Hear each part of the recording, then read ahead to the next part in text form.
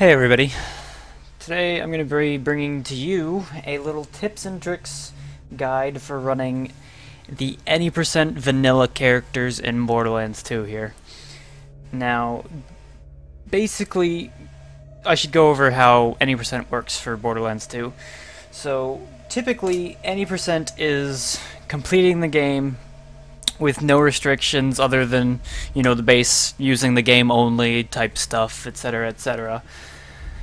So, but you might see a lot of people use Gaige right here, which is a very, very common choice for a lot of people, mainly because of how easy and powerful she really is. But she is DLC, so what we have had to do in terms of categories and all stuff like that is we've had to separate both Gaige and Krieg into their own separate categories called any percent with DLC, which allows any usage of DLC in any way. So that is basically what has happened overall. So basically these four vanilla characters right here are those that would qualify under any percent technically. So even though Gaige is faster, she's a better run, etc., etc., this this is something that you still have to deal with in general when choosing which category to run for this game. So basically this tips and tricks video is going to be for the starting point of of the any percent characters, not for those that start with any sorts of DLC. So, now, I'm going to be using Zero because Zero is the fastest of the other four characters and the least painful, even though he still has some shortcomings that really make him kind of difficult. So let's go ahead and start the game up and watch the first cutscene. Um, the first thing that we're going to be dealing with is the fact that basically there's a DLC that gives you all the gearbox starting weapons here at the start. And if you're on Steam, you can disable that to kind of speed this up by a couple seconds here or there. I haven't done it for this file, just because I want to show you what you can do if you haven't done that. Um, because there is a way around it that is allowable in-game. And that is something that is really worthwhile in doing for you. So once we gain control of our character, I'll show off exactly what you should do at the start of of your run if you don't disable the DLC. Complete with a mini map. Now, come come, friend. Let's get you inside. So basically what you're going to want to do is you'll see that I get this pop-up message here, which is, you know, saying that you've got the Premier Club and you're getting all these Gearbox weapons, etc., etc. But these are all DLC weapons, like I said, and so we can't use them. So the first thing you want to do is take this Vault Hunter relic and you're going to have to put it in your inventory because no matter what, that can't be dropped. You can't hit the drop key, etc., etc. I don't know why. You can't sell it. You can't do anything else like that because that will technically change everything. So eventually you just have to take it off, not use it, and then put it into your bank once you get to Sanctuary the first time. Or at least just hold it in your inventory and never sell it without buying it back. And then but anyways, just drop all the gearbox weapons. You can do these just from the overworld if you're on PC, etc., etc. Just, but you know, drop them whenever, and then just make sure your badass rank turns off like always. And then you basically have a start that is within the rule set of any percent.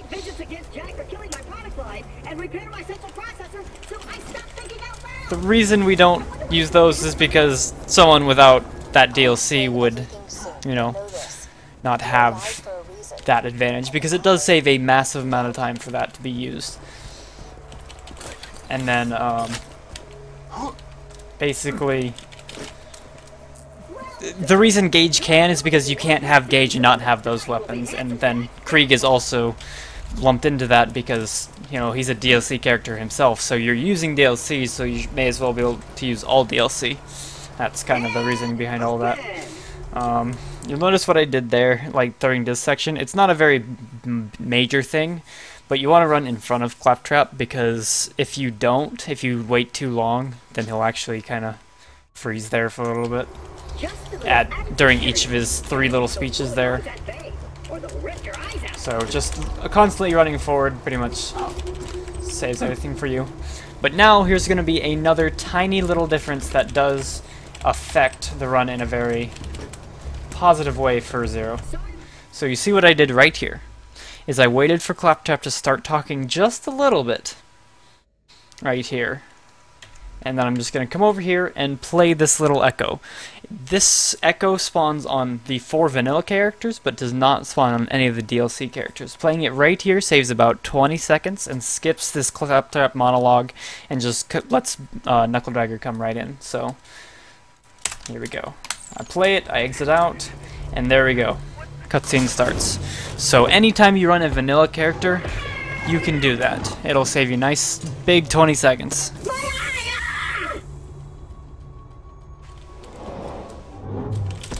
And then you're going to want to grab this pistol right here, which is a very important pistol because it's the only weapon you have. So there's a few techniques that are really important for um, how you use this weapon because it's all you have and you have to be able to optimize every little thing you can with it because it's only 11 damage it's only got a 7 mag size right yeah 7 mag it's not that great. really and truly. It's not the gearbox sniper when it's a when it's got perfect parts and all that. So the first thing that is that I'm going to need to go over is the animation canceling that you can do with um, Dahl weapons. So basically, oh here, I'm, I'm not to do the save quit right here. You would typically save quit when he... Well, no, I'm just to do it. Whatever. Doesn't matter. I'll explain it after after this. It's alright. So typically in the speedrun, you sit here, you hit save point, and you just save quit. And then just mash enter, etc, etc. Normal stuff. Whatever, whatever. So let's go over animation canceling here before I really trigger Claptrap and start going forward. So basically, if you just look down the sights with uh, any Dahl weapon, it's going to burst fire like this. And that's about as fast as it goes right there. That's that's the maximum fire rate you you get pretty much. But there's a different little technique that I like to use, especially if you have aim assist on, which is recommended for any sort of speedrunning for this game. You'll find that under gameplay, right? No, it's... There we go. Keyboard and mouse, aim assist. Make sure this is on for this uh, strategy because it helps so much if you're trying to be fast. So definitely turn that on. So basically what you're going to do is scope down, fire, and then unscope. So scope, fire, unscope. Really fast, it looks like that. And then you get some really, really fast um, shots off. You can really, really push how uh, how many bullets you can get off in one little time frame. So another thing to think about is that on PC there is drop reloading. So here in your key bindings, let's see, you have this drop weapon key right here. This is this is again PC only, but there is another way to do that in con on console as well, which I'll go over in just a second. So drop weapon right there is very important because what you'll see is when I empty my clip, just like that, I can drop it and pick it up real fast, and it's fully reloaded. So that's one really quick way. Another way to do it is to open your menu, move it out and then back in your inventory and it'll do the exact same process. So that would be something to do on console or if you don't feel like drop reloading or whatever, the, those are the two different options. I would say drop reloading is the faster option for you, but menu reloading still works just fine. And draw and menu reloading is better if you have crit merges already because that way you don't lose those crit merges, which is a very important glitch. So anyways, I'll kind of go through this first little part here to kind of show exactly what it's going to look like in the speedrun. And what you should be aiming for. It's probably not going to be perfect. It's been a little while since I've really touched on Zero, but this is kind of the goal of what you're looking for, if nothing else, at least via the technique. So the first one spawns right here. You really want to see if you can kill him like that. Okay, that was... Oops. Not bad. Other than losing my gun for a second there. Not bad. And basically, just try to know where every spawn is there. Don't go too fast, because actually, believe it or not, you can go too fast on that first fight, which is a big problem. And you may say, oh, but I've got this bad weapon, there's no way I could do that. I have done it once. You can soft lock that first fight by going too fast with this weapon right here. It's very hard, very rare, but it is possible. So beware of that even on zero, especially if you like the category enough to actually play it a lot. So here's another thing we're doing right here. We're getting a little bit of extra experience with these enemies here, but there's one little trick that's going to be about a 5 second time saver, give or take. So once you've killed enough enemies right here, a brat will spawn. You don't want to kill him yet. Try to get him as low as possible without killing him. Just like that. And wait until the quest objective right in the map up here to shift before you actually end up killing him. Because this will make it so that another brat does not spawn. So right now. And then just abuse the uh, auto aim and everything else like that, just to kind of clear those out. It really is a good technique to really practice and get down with, um, with that right there. And then another little place where the run is going to be different is where you stand for the Knuckle Dragger fight. Because really and truly, Knuckle Dragger is not to go quickly at all for anybody you're not you don't have any crit merges like Gaige would or anything like that. So you're to want to stand right behind this car right here. The reason I say that is because Knuckle Dragger has three different patterns that he can give you, one of two of which are acceptable, and it kind of varies on which strats you're using. So if you're sitting here with this weapon, you're going to want to be standing back here because the phases where he jumps at you or runs at you are really good well, the where if he throws rocks at you, it's very bad. It shifts if you're Gaige, let's say, because you want him to run at you, or just throw rocks, but you don't want him to jump at you, because that's the slowest. And then if you're using snipers, you want him to sit there or run at you, and not jump at you either. So I guess that's really the same. But anyways, um, the reason I say having him jump at you is very, very good is because he will actually clip into this car slightly and get stuck. So you really want to be standing back here. Even though the loot may fly the wrong way, this will still help you get a faster fight because it will probably prevent him from jumping up top, on top of the uh, the barge up there, I guess. so I'll I'll see what we get. Because your decisions in how you fight him will change slightly based on what you get.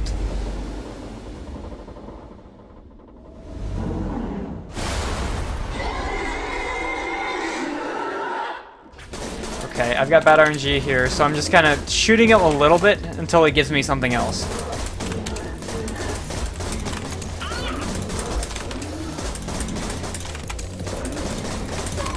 Alright, so that's kind of what you want to do, especially if you get bad RNG like that, because that was bad RNG, which is randomness, basically, for those of you that are curious. Um, basically, if he's throwing rocks at you, do not push him under half. Do not do it. Because he will jump up and waste a ton of time. And just make your fight extremely hard. Wait until he gives you a better pattern. It's better to waste time waiting than anything else. So you can shoot him a little bit, but wait until uh, he moves away. And if he does run at you, also don't shoot him too fast and get him under half, or else he will turn around too quick. So you see I waited for him to be, you know, in this general area or something like that before I started pushing, like, shooting at him. And then this is where you're really going to notice if you're not great at the animation canceling or not, because it is very, very vital to doing high DPS right here if you can do it well and effectively. And it also helps you get headshots with the aim assist because you can you're constantly forcing the game to go to center body mass on the enemies. So that's the basic idea you want right there. So now we just do the finish those up, grab the eye, and worry about Claptrap.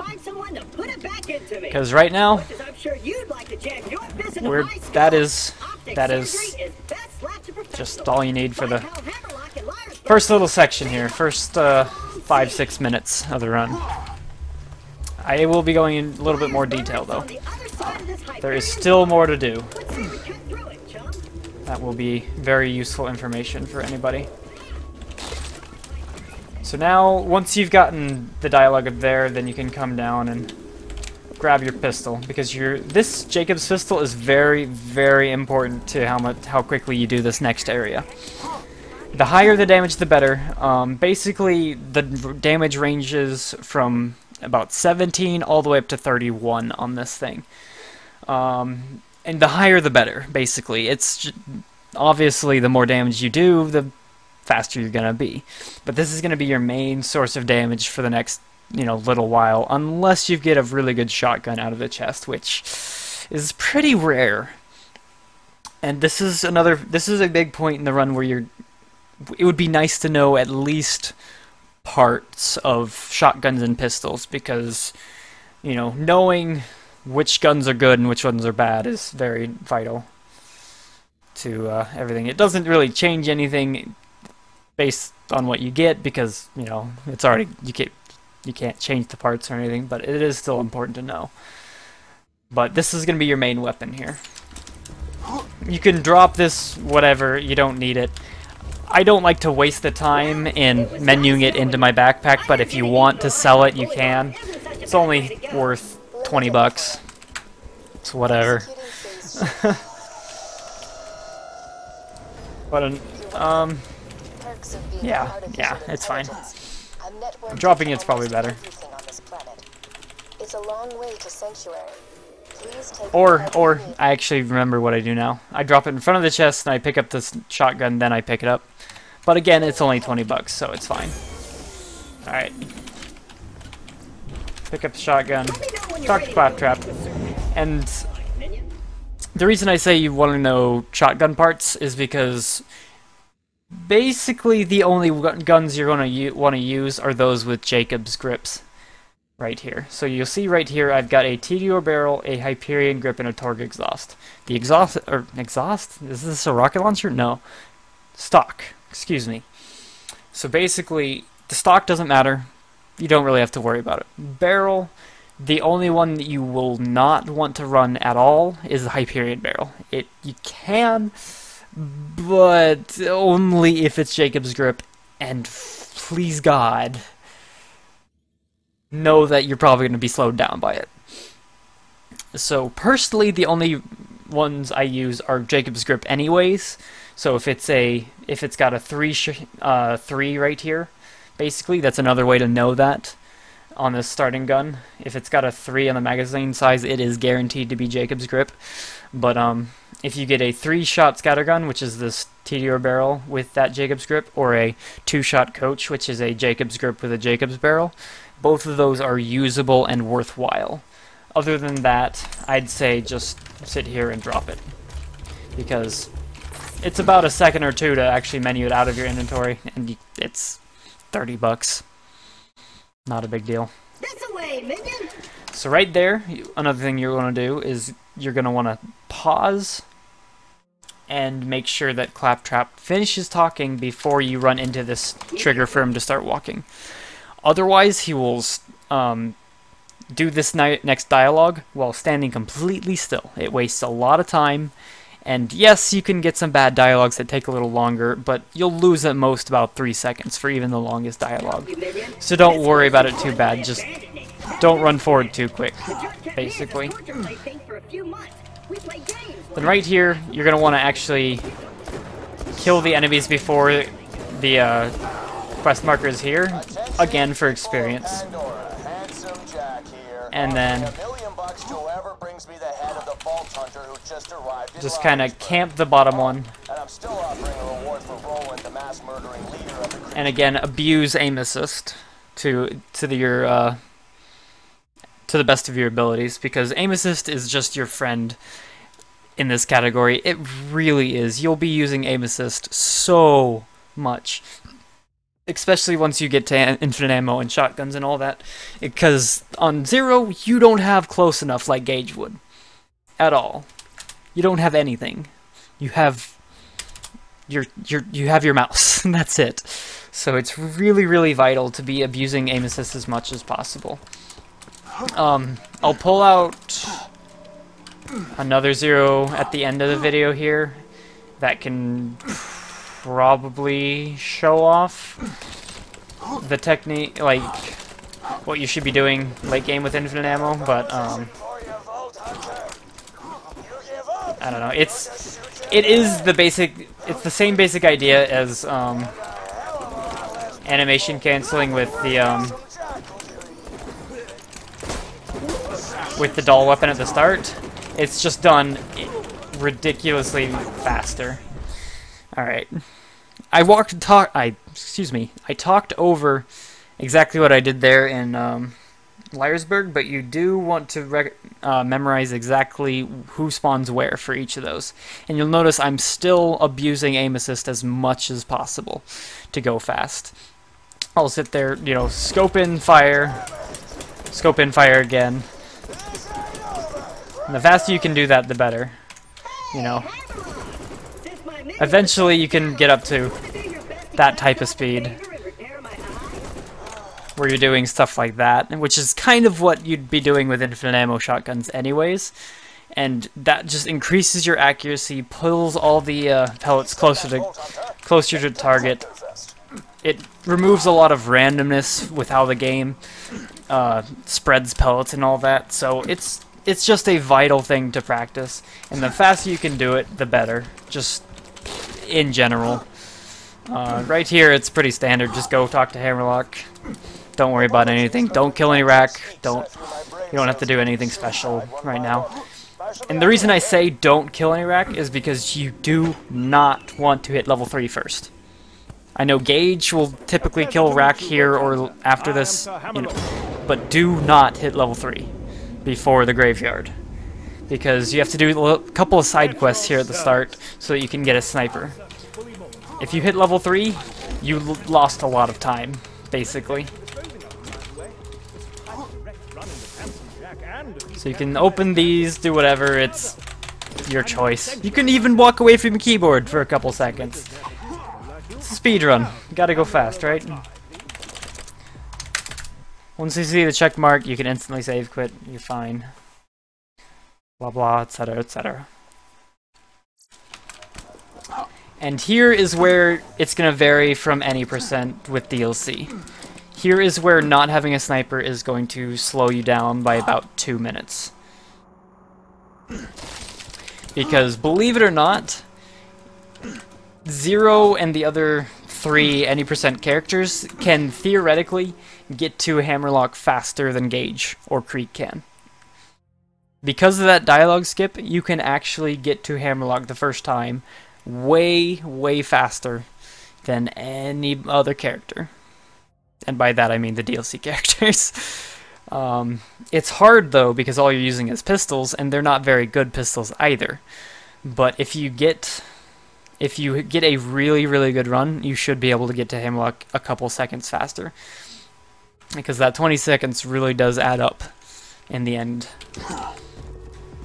So now, what we're going to be doing is we're going to be accepting the side quest from Hammerlock here, and there is a minor maybe a couple frames time saver right here that you can do.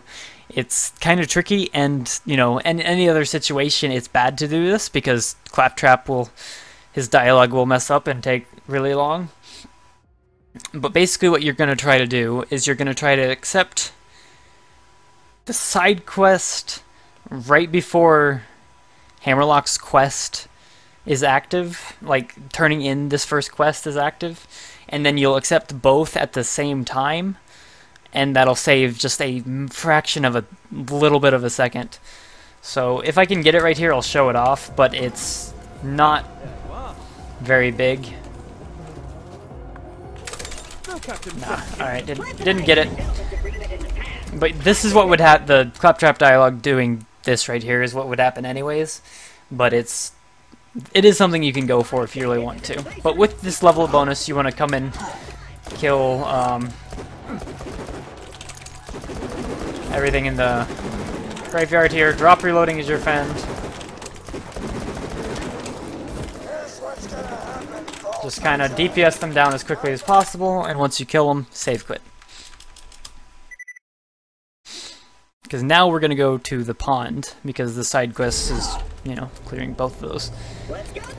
So what you can do is come right down to this little hole here, and if you kill them all over and over, then um, a bunch will spawn there over and over. And you'll notice I was going a little slower than normal there anyways, but it really doesn't matter. I mean, basically what you're going to do is you'll see it says escort Claptrap to his his ship here on the uh, where it says your quest there, and then you're going to want to save quit once that happens and Flint has stopped talking. Because basically what happens is that Claptrap, instead of waiting up top for up here and then walking all the way down the hill, he'll already be down the hill, and you won't have to worry about him. And that's why that saves time, because it would you would have to kill everything about five seconds fast for it to be not worth it. You'd have to sit there and listen to Flint talk for about five seconds before it would become not worthwhile to do that strat. So keep that in mind when you're doing the pond there. So then once you get up here, just turn this one in, grab both the quests, it doesn't really matter. Just go fast, come in here, buy some ammo, buy some nades, make sure you do buy the nades. And then you'll have this assault rifle here. You don't really need the assault rifle, but it can be nice if you're uh, if you're hurting for everything. The reason you grab both quests is because you need the bad fur day so you can get a sniper as well. I definitely do like holding on to the assault rifle though. It is very nice. In certain situations, I won't. I'll just drop reload through it like that or whatever. Make sure you hit every trigger for claptrap down here. You can start the fight a little early here if you want. Blow that up. Did not really do much for me. Oops. Oops, that was a little sloppy, but whatever. You get the idea, just kind of... At this point, it's just killing everything faster than as fast as you can using the tools you have. So it's it's up to you to really decide what's most comfortable for you and what routines you want to get into to try to prevent RNG. Know what enemies spawn where, watch your minimap, blah blah blah, etc. etc. You know, typical stuff. Use these barrels to your advantage if at all possible. And don't be afraid to run up and actually fight them on zero. Because, you know, being too far away and then missing can be a problem. And once you've killed all these guys, just check your nades up here. With any luck, you'll kill them all with your nades like that, but you know, sometimes it doesn't really work out for you. So just kind of hope and pray that you kill them all. There's not much else to that. Um, yeah, basically just get across this bridge as fast as possible. Don't die to the suicide psychos, but I mean, if you, it's normal mode, you probably won't die to them. They're pretty easy. And then you're gonna want to be using your pistol at the start of this boss fight here, because this fight is has a few nuances that really can speed it up quite a bit. One of which is killing Little Boom as fast as possible so that Big Boom goes even cleaner. So basically, just crit Little Boom as much as possible in the head. Grab a nade mod, and just start chucking.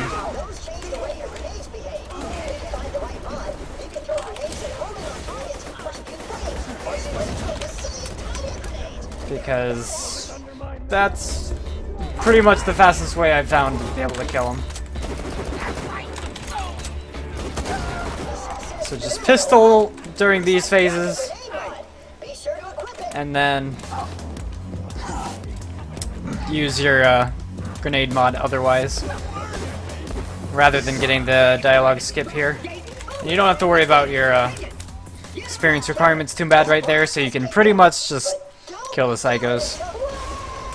So you've hit the gate, you can exit, take off your nade mod. I like to spec into my action skill right now. And then, I mean, if, if you don't like to use your assault rifle at all, it will help to take it off now, since you already got your menu open, because this will also put the sniper into your inventory later, directly, and you won't have to menu for it.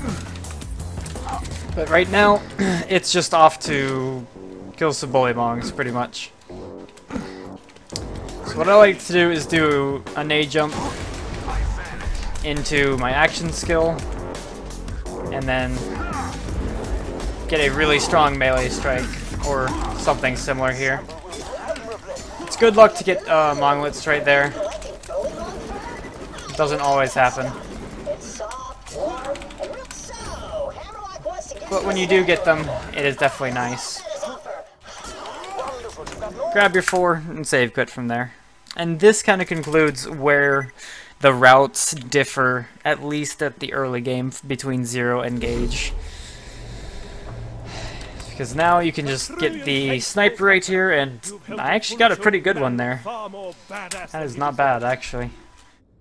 That is Dahl Grip Hyperion stock, Fire Rate accessory, Jakobs Scope, and Jakobs Barrel. Which means that it's going to be relatively stable, actually, and the fire rate's going to be really good for a Muck-a-Muck. But you're still going to have a lot of kickback, and it's I mean, other than that, that's really good. But sniper parts are very important to you as well because it'll let you know exactly how good or bad you you got trolled by the game. Um, but um, yeah, basically from there it's just kind of doing the normal stuff. You do your crit merging like you would with Gaige right there, and then you just go kill Boom Boom. Um, see what else from here. Um, on the way to your farms since you don't have Death Trap or anything like that, what you're going to want to be able to do is um, do some grenade jumps like this, and then shoot the gas tank. And what I like to do is use Deception and then one-shot one guy at the very end. Because that kind of clears most that camp and gives you a bunch of extra experience on the way. But outside of that, really and truly, once the only big difference that you have left is how much you can save quit and how much you have to farm extra. Because right after Warden is where you have to switch from the normal route of just killing everything and then or just doing the main quest is what I meant to say, excuse me. And then going and doing the big farming section where you kill a bunch of mutated badass Varkids from the Hammerlock quest. So that is the big difference in routing there. You go from about level 11 to level 13. 13 is where you stop killing those Varkids. Um, I could show basically what you do there, but it's pretty easy. You wait for them to pot up, and then you shoot them until they die. there's there's really not a whole lot to it. If you don't get enough, you save quit and do it again and then when you hit 13 you go to Tina because it's all in the Tundra Express so it's really really localized um, other than that I guess I'll try and show you kind of the basic idea of what to do once you have um, an infinite ammo Jacob shotgun hopefully I have one in here I may or may not um, I do. Okay. Good, good, good. So basically, you do your infinite ammo stuff.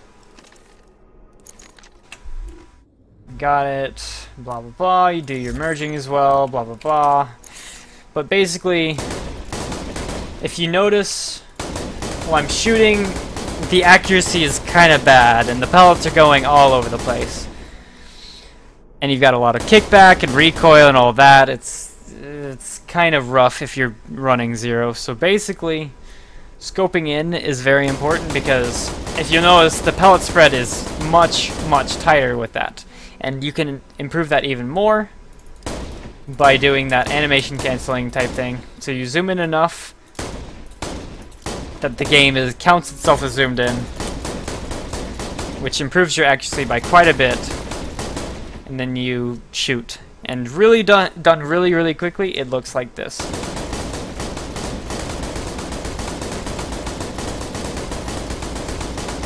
So you can basically just mash the two together.